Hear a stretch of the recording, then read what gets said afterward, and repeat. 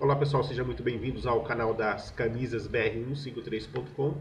Seja muito bem-vindo ao nosso site. Né? É, você está aí no caminhãoparaagregar.com.br. Isso é uma ferramenta gratuita que nós disponibilizamos para os nossos clientes, proprietários de caminhões, é, amigos, parceiros de transportadoras, logísticas, enfim. Se você deseja buscar frete, tá? É, ou se você deseja buscar cargas especiais, né? É, ou se você tem algum, algum caminhão que deseja agregar, esse é o canal onde a gente procura aí de uma forma espontânea ajudar os parceiros da rodagem. Da mesma forma como eles nos ajudam indicando o nosso portal, a nossa loja virtual, a br153.com, loja de camisetas. Né? Bem, então aqui é muito simples. Em cima vocês devem estar, tá, vocês podem perceber aí classificados. Né? Aqui nas laterais, né? aqui na, na, lateral, tem um anúncio aí de caminhão. É, se esse anúncio tiver alguma coisa interessante para vocês, podem visitar, são parceiros nossos, tá? vale a pena.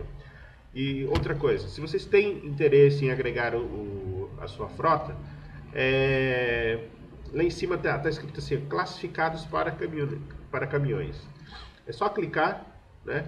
Preencher o formuláriozinho, nome, endereço, perdão, nome, é, o site, se você tiver, ou, ou no caso, se você tiver um contato, e no campo maior, naquela caixa maior, você coloca lá, ó, eu tenho um caminhão X, né, ano tal, tá com a, a NTT legal, tá com a documentação bacana.